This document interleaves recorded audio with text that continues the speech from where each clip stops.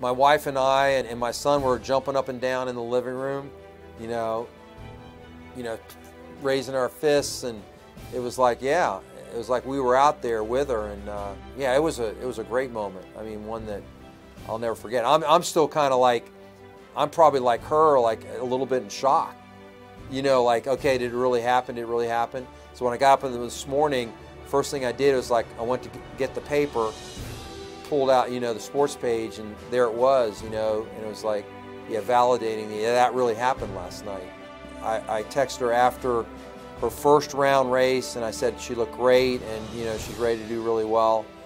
Afterwards, um, you know, congratulating her obviously and, and everything, and then uh, she responded today because obviously I think probably yesterday she was pretty inundated with uh, you know different interviews and so forth, but yeah, so she's looking forward to getting back to the states, and uh, I think we're going to get her up here, you know, to Blacksburg and, and do a recognition for her. And, so yeah, it was, it was really, really great to see that. She is our first female athlete to ever medal, you know, from Virginia Tech, either current or former.